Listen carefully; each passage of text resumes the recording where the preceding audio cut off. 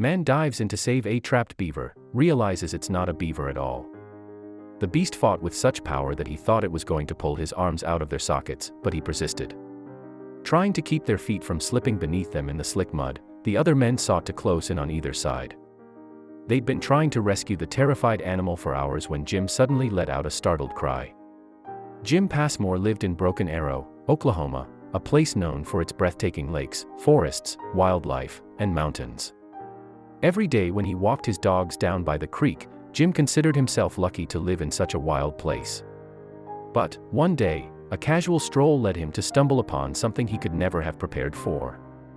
Although Jim took his dogs for walks and hikes often in the beautiful area, they always followed the same route. They would walk down onto the path they had created over the years that ran alongside the creek.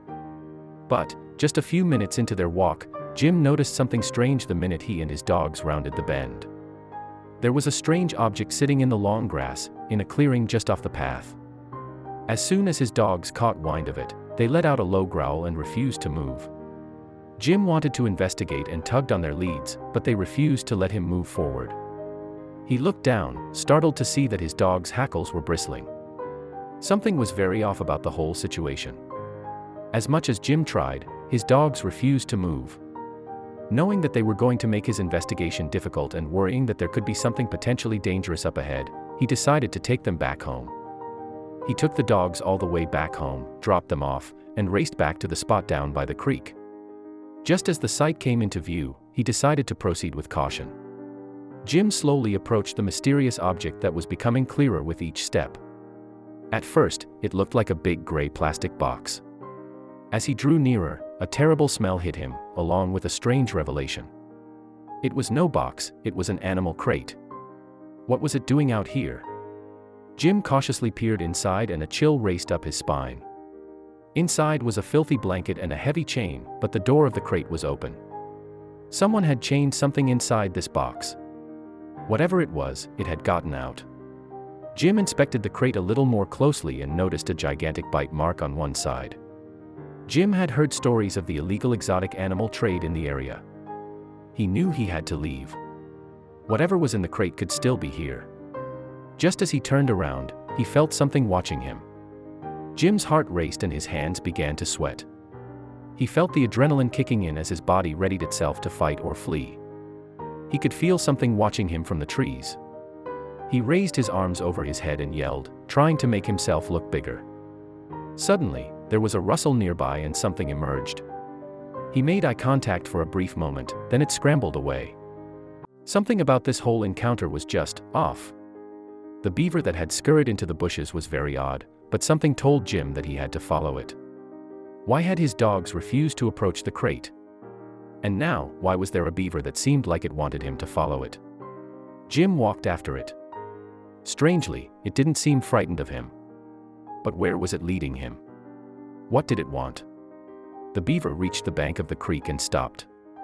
Jim felt his feet sinking into the soggy ground underneath him.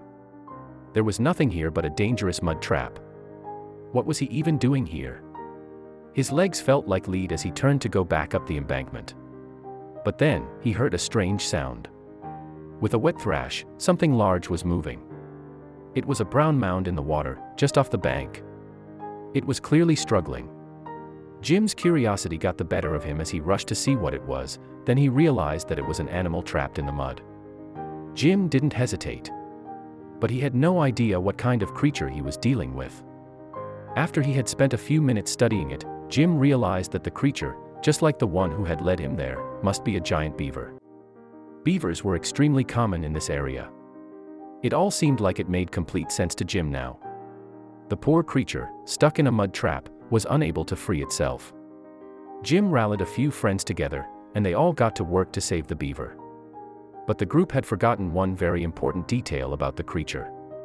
This beaver was no different from any other beaver, they are incredibly territorial and have even been known to attack humans. As the rescue party approached, the animal lashed out and managed to bite one of Jim's friends, to everyone's alarm. The man rushed to the hospital as there was a chance that the animal was carrying rabies the remaining men remained to try to free the animal. Jim came up with an ingenious plan to avoid another bite.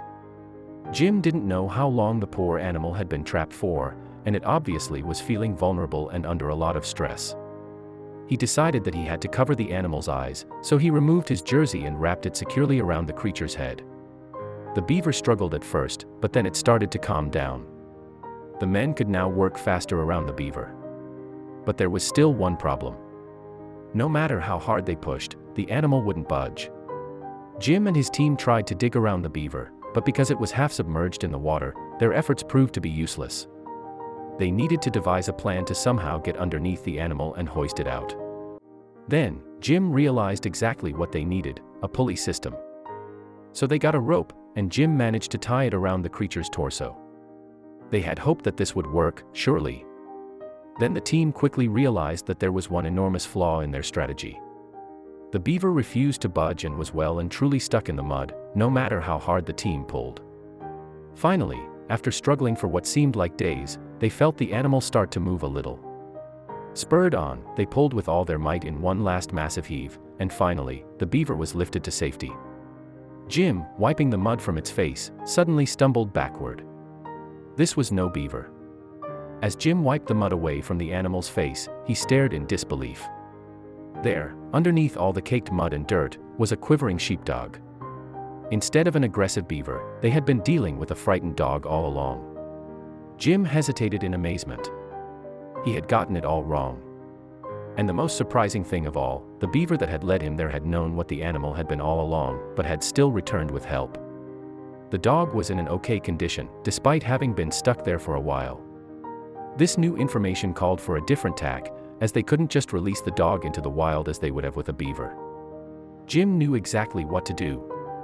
Jim called the Oklahoma Alliance for Animals immediately, and they quickly took the dog into their care. But the dog was incredibly wary of people, and this presented a problem. The rescue organization would have to work long and hard to get him to trust humans again. The dog was named Teddy, due to his big and cuddly appearance. But the local vet had some bad news about Teddy. The vet advised that Teddy was suffering from a huge weight issue the poor pup was diagnosed with morbid obesity. This was probably what had caused him to get stuck and unable to free himself from the muddy embankment. Teddy's weight was also putting immense strain on his joints, and he was not able to move easily. Additionally, the vet had a suspicion that Teddy had been stuck in the creek for days, which caused him to have a mild case of PTSD. Nevertheless, there was hope yet. Teddy disliked most people, but there was one special woman whom he had allowed to come close to him. The receptionist at the animal shelter would visit Teddy daily, and she had clearly made a lasting impression on him.